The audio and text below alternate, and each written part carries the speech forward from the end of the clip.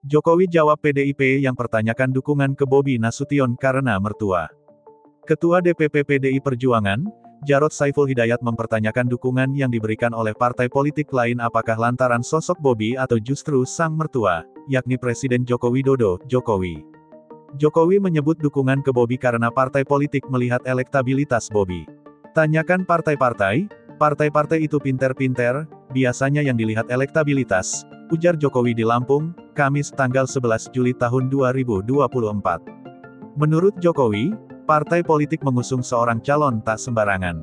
Partai politik, tambahnya, pintar dalam memilih calon.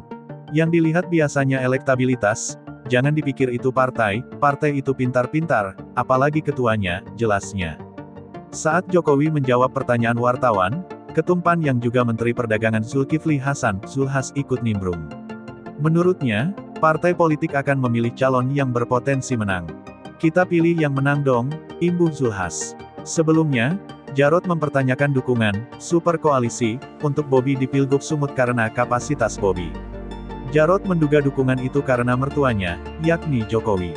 Pilkada Sumut ya, untuk Mas Bobi sudah dapat dukungan yang banyak itu karena Mas Bobinya atau karena mertuanya. Itu pertanyaannya. Jadi pertanyaannya itu, kata Jarot kepada wartawan di Kompleks Parlemen, Senayan, Jakarta, Selasa, tanggal 9 Juli tahun 2024.